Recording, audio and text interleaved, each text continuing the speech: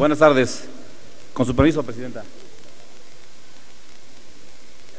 Para el Grupo Parlamentario del PRD es una obligación ineludible atender las exigencias y demandas de quienes generan empleos, producen riqueza y contribuyen con sus impuestos al gasto público del país, como son las micro, pequeñas y medianas eh, empresas. Las MIPIMES son un elemento fundamental en el desarrollo económico de México, porque constituyen la columna vertebral de la economía nacional.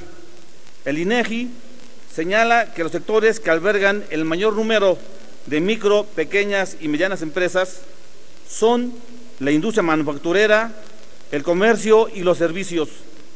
La importancia de estas unidades económicas para la economía municipal, estatal, regional y nacional es ampliamente reconocida. Constituyen, eh, contribuyen con siete de cada diez empleos formales que se generan en el país. Constituyen el 99% de las unidades económicas y generan el 52% del Producto Interno Bruto. Por eso, el día de hoy, vengo a someter a esta honorable asamblea la creación de la Defensoría del Micro, Pequeño y Mediano Empresario, que será un organismo público descentralizado con autonomía técnica, operativa y de gestión, personalidad, eh, jurídica y patrimonio propio. Esta propuesta es consecuencia o es consecuente con la necesidad que el Centro de Investigación y Docencia Económica a través de su análisis titulado Justicia Cotidiana, advierte de crear una instancia de esta naturaleza. El objetivo de esta institución será incentivar y promover el desarrollo de esas unidades económicas, además de transmitir a las autoridades la realidad de las empresas de menor tamaño, así como de las de reciente creación, para facilitar mecanismos de diálogo y concertación a fin de que se cumpla con la ley, se tenga mejor acceso a mecanismos de justicia y se favorezca un entorno que incentive la formalidad.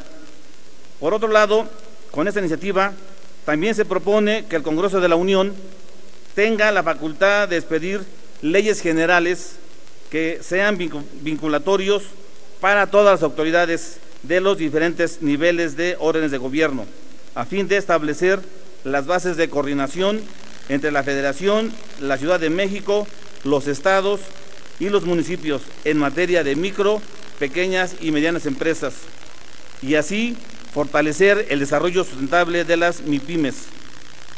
Pese a su valor estratégico, las MIPIMES enfrentan graves obstáculos para su desarrollo. A las complicaciones legales para abrir su negocio, los pequeños empresarios tienen que solventar cuestiones que van desde la, renta del local comercial u oficina, pasando por permisos y trámites ante autoridades administrativas, hasta los contratos de prestación de servicios o de compra de venta de bienes y contratación de personal.